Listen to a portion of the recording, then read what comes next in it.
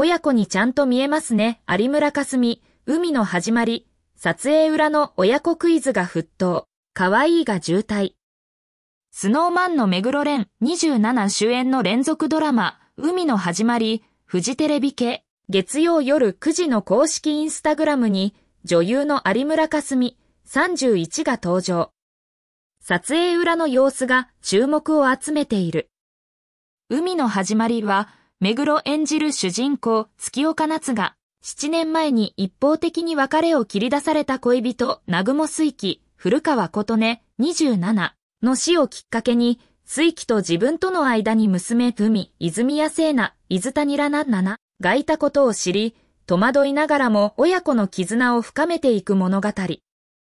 この日、同公式は、かいちゃんによる突然のクイズ大会、第2弾部から始まる海ちゃんの好きなもの、弥生さんは正解を導き出せるのでしょうか、と記し、夏の現在の恋人百瀬弥生を演じる有馬と解約の聖奈ちゃんがキュートな会話を交わす、様子を捉えた動画を公開した。有村さんは、ぶっから始まる聖奈ちゃんの好きなものを当てようと、ぶぶ豚と悩みながら答えるのですが、聖奈ちゃんの方が一枚上手。ブブー。今聖奈ちゃんが言ったことだよとヒントを出し、きょとんとしている有村さんにそう。ブブー。っていうのが大好きなのと元気いっぱいに答えていました。最後は二人でゲーとご機嫌なハイタッチを交わしており、劇中のシリアスなテンションとは打って変わって、楽しそうで和やかな雰囲気が伝わってきます。15日に放送される第3話の予告では、有村さん演じる弥生が海の母親になろうと、新たな一歩を踏み出そうとする姿が描かれています。今後のストーリーを踏まえて、現場でも積極的にコミュニケーションをとって距離を縮めているのかもしれませんね。女性誌ライター。